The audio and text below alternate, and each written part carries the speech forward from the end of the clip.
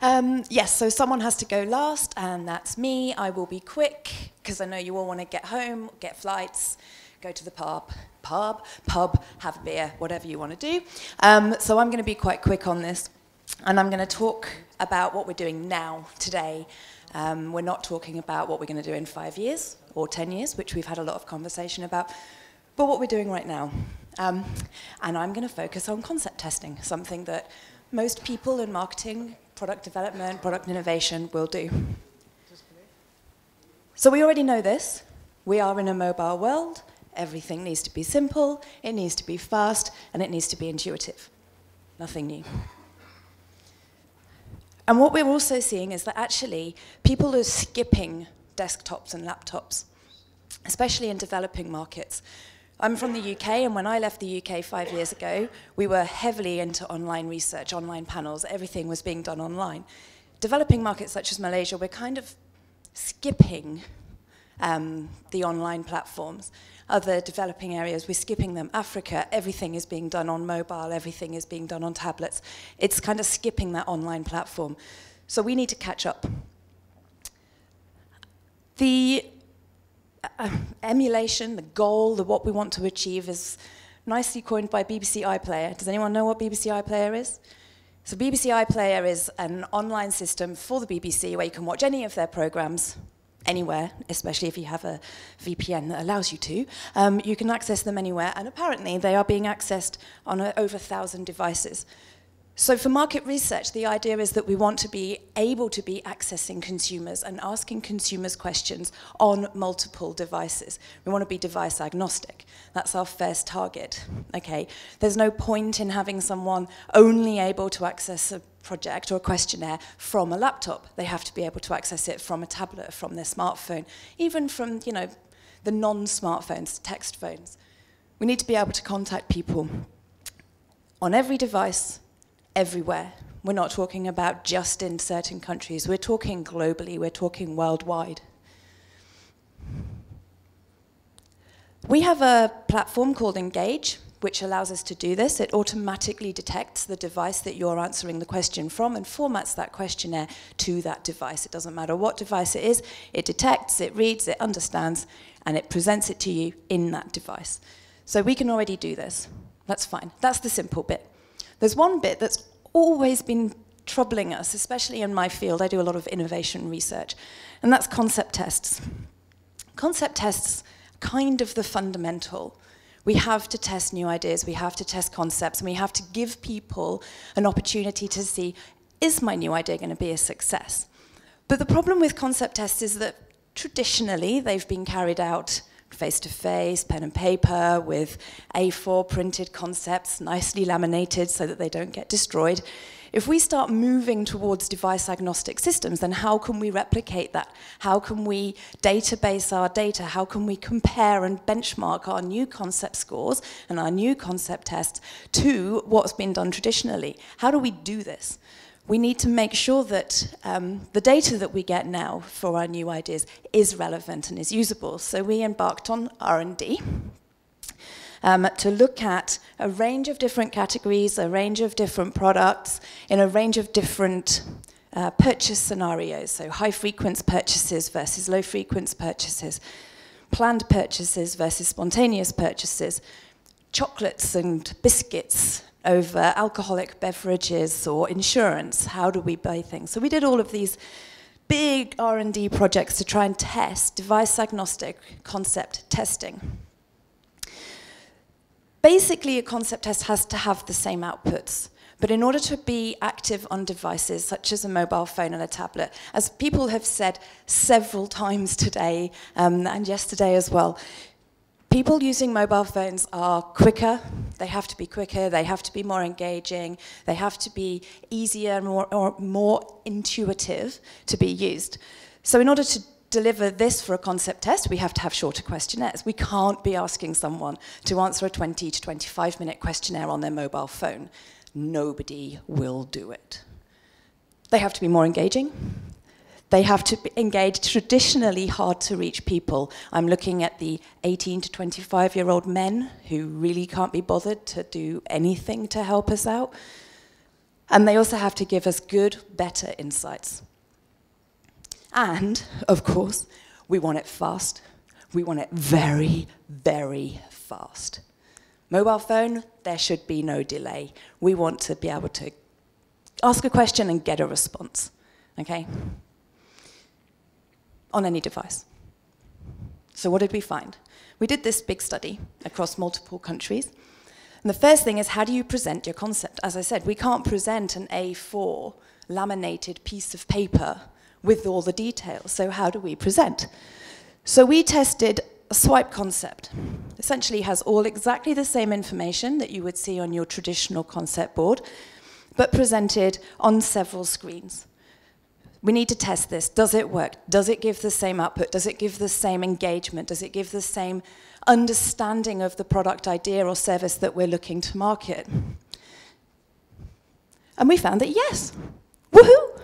62% um, longer spent time spent reading the concept versus that um, A4 piece of paper. People are spending much longer reading it. They are looking at it, they're more engaged with it. And also we had significantly fewer dropout rates than we would expect for this kind of concept research. So people are engaged, they're more focused, they're more interested in what we're asking them to do. The research also gives us better insights.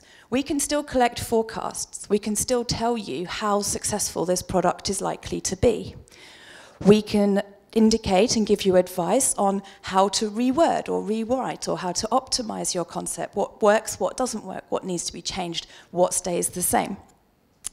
We can look at profiling your innovation. What target sample is it going to? Is it a niche product? Is it breakthrough? Is it something that's just another same, same, same, same, same? And we can also look at benchmarking as well.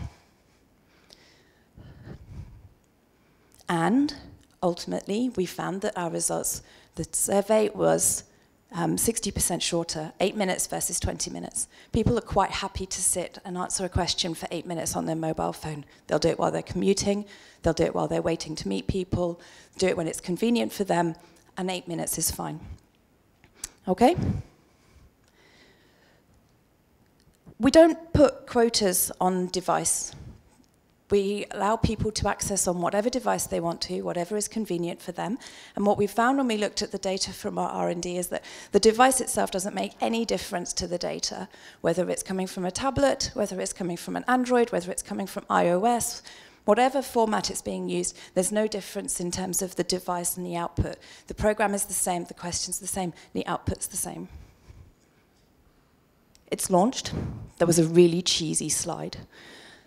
Um, it was launched in the end of October, uh, October last year. Um, so it's all live and it's all ready to go. But there was one big question that was still outstanding, which is what about the database? Okay, so I can give you wonderful scores and performance for your new idea, but how do I know what that means? I mean, what's the benchmark? What's the database? And that's where our tool comes into play, we don't benchmark against existing products, we benchmark against what people actually use. And we can ask those questions within a mobile survey. We're asking people, you currently have a favorite chocolate bar. Tell us about that favorite chocolate bar. Now look at this concept and read this idea and tell us what you think of that. And then we want to see how those two scores compare. So there's no need for a database. So you automatically get your data, your benchmarking, and your cross-category, cross-country, everything is the same because it's me benchmarking your new product against what I currently use. So we don't need to worry about the database. Okay?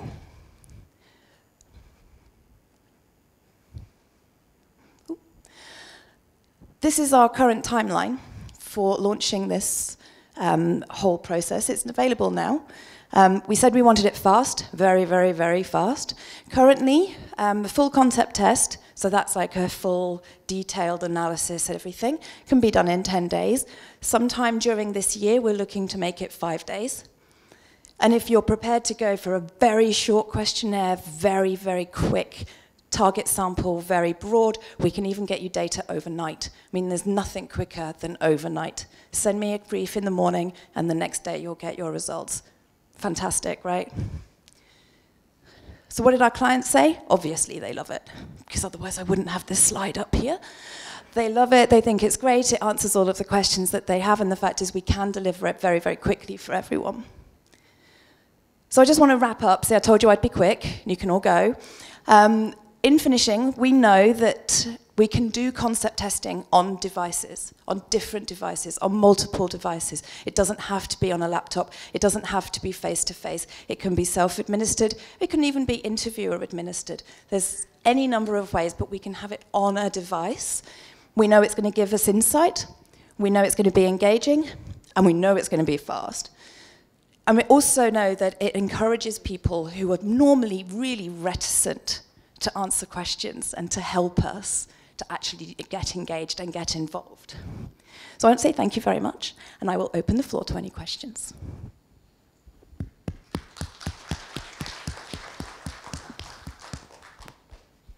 That is a lot of thank yous up there. Okay, do we have any questions? My eyes are getting old. Sorry, me again. Um, just now you mentioned that the lead time is about five days, right? So, um, and then nowadays also you're talk, talking about shorter one could be just uh, overnight. Yeah. Now, um, can you tell us how many concepts that we can test at one go? What are the limitations by using this? Thanks. Um, if you want it overnight, it's essentially one concept per person. It has to be very, very quick. Um, the ideal is that we only have an eight-minute survey, and we can't ask an awful lot of questions within that time. That also includes time to actually read the concept as well. So generally, if you're looking for quick turnaround, it would be you've got one concept, one idea. We really need to just quickly get it out there and check it because they're going to go ahead and do it regardless. I just really need to know, is it as good as it can get? Um, if you're looking to do multiple concepts and a much bigger test, then I would still recommend going for a bigger survey um, and taking a bit more time and a bit more investment, especially if it's, if it's exploratory um, and you're making those decisions. Okay. Any further questions from the floor? Well, thanks, Jane. It was a good, Thank good you. presentation.